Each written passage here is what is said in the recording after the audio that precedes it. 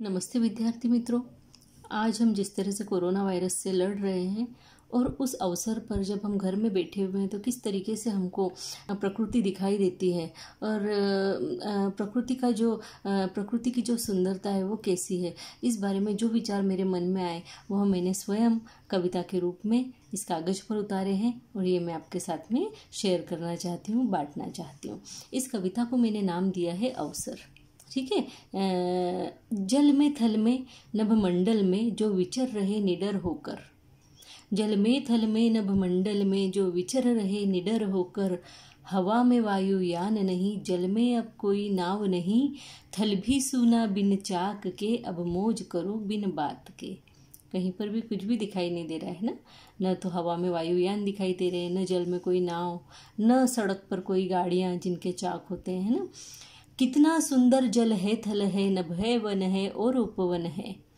कितना सुंदर जल है, थल है, नभ है, वन है और उपवन है, कभी न देखा था ऐसा दृश्य यहाँ हर क्षण में है। आओ मुक्त, हम भी उड़ ले है ना? यहाँ पे क्या कहना चाहती हूँ मैं? कि आओ मुक्त हम भी उड़ ले, जब तक तन है, जब तक मन है। सुंदरता की सुंदरता जिसकी कोई सीमा ही नहीं। कितना सुंदर जीवन है, अब हवा में उड़ने को मन है।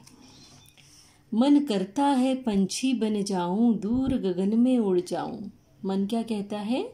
मन करता है, पंछी उड़ जाऊँ, दूर गगन में उड़ जाऊँ, पंख खोल कर मैं भी देखूँ, जो बंधे थे उनको हवा दे दूँ। जल में, थल में और वायु में मन भर जी लूँ इस आभा में।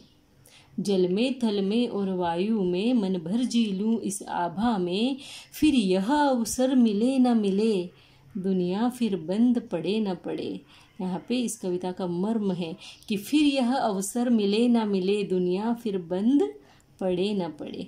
विद्यार्थी मित्रों, और जो भी इस कविता को पढ़ने वाले, देखने वाले हैं, अगर आपको मेरी यह कविता पसंद आई हो तो प्लीज़ कमेंट बॉक्स में ज़रूर लिखें, इसे लाइक करें, और शेयर ज़रूर करें, और कमेंट करके मुझे बताएँ। धन्यवाद मित्रों, नमस्ते।